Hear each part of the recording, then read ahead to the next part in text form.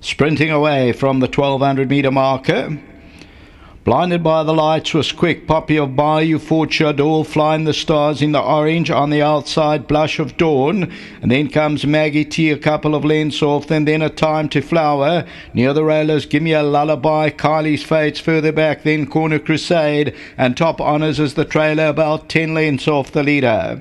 Flying the star by one length. Blinded by the lights, the second Poppy of Bayou, the red cap at the rail. Then blush of dawn. Fort Chador, that's got the white cap, followed by Give Me a Lullaby near the rail. Maggie T, then a time to flower behind that Kylie's fate.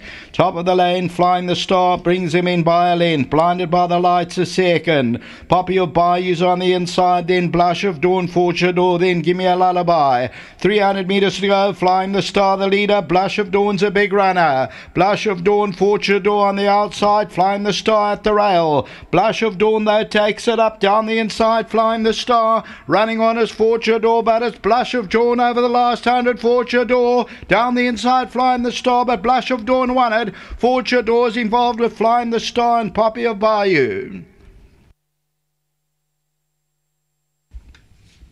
Number eight will win it, Blush of Dawn. There's another one for Chase Maujean and Blush of Dawn Garth Puller. Number eight at eight rand and two seventy wins it. It gets close for second.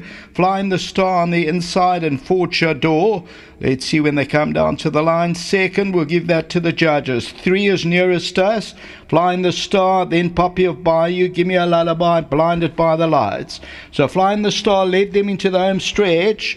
But the winner is in the middle of your picture and comes home well. Blush of Dawn, the six year old mare by Noble Tune Garth Puller. And this one owned by Steel and Puller and bred another one by Gary Player.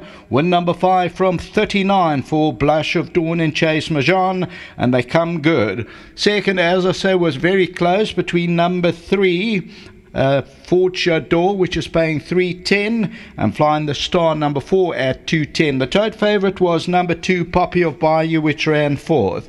Until the running of the seventh, back to the studio.